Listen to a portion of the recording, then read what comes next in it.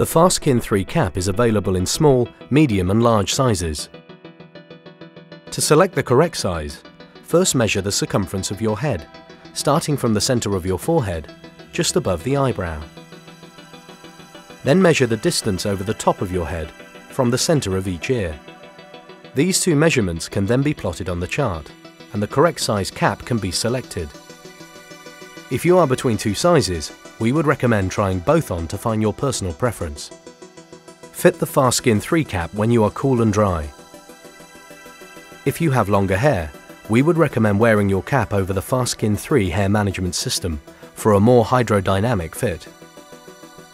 After fitting your goggles, position the cap low onto the centre of your forehead and stretch the cap over your head in one movement.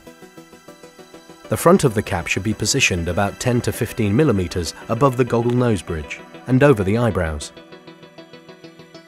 Pull the cap down as far as possible, ensuring there is no air between the cap and the top of the head.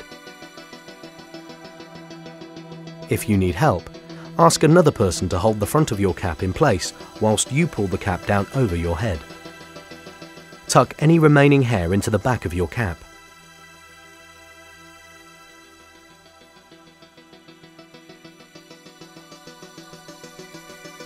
Vertically align the fit point markers found at the centre of the cap and the centre of the Fastskin 3 goggle nose bridge.